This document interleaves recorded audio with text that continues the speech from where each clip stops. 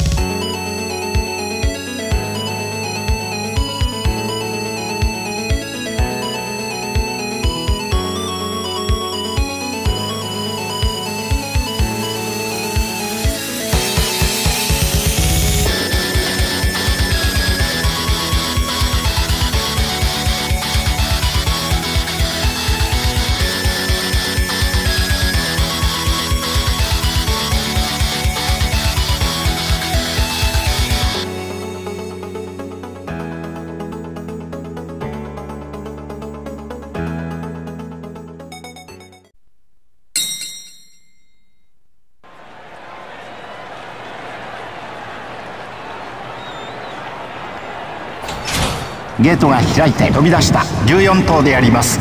先行争いであります。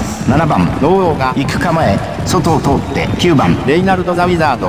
14番ズイーブロス。そのうち8番マイキャッチ。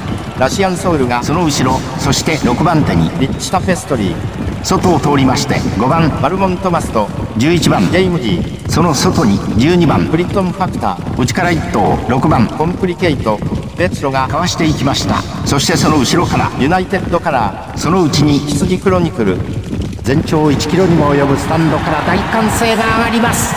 羊クロニクル馬群をさばききれるかどうか。レイナルド・ザ・ワイザード。先頭さらに内。動画を12番プリクトン・ファクター間から。マイキャッチ。そしてもう1頭。ユナイテッドカラー2番手に。ラシアンソウル。間から。羊クロニクルそしてもう1頭。スターリングシティ。9番。レイナルド・ザ・ワイザード。スターリングシティも。懸命に追う。間を割って。羊クロニクルそれから。スターリングシティ。5番。バルモントマストスターリングシティ。先頭。1着。スターリングシティ。2着。羊クロニクル。やっぱりこの2頭だった。